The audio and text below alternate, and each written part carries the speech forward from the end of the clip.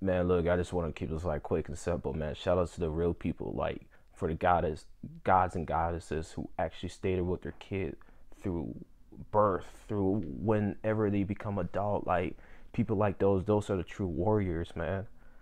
Like they're literally there. They they work. They don't care. They don't, they don't complain about shit. Like they don't, you know, separate. Like I'm talking about the real strong family that's actually there supporting their kid. Like that that's some real ass shit right there, bro.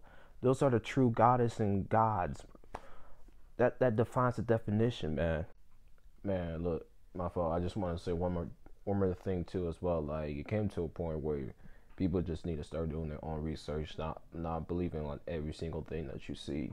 I'm just speaking in general, like yeah, y'all can't just pull information just from people. You you gotta take that time to really solve it or research on it.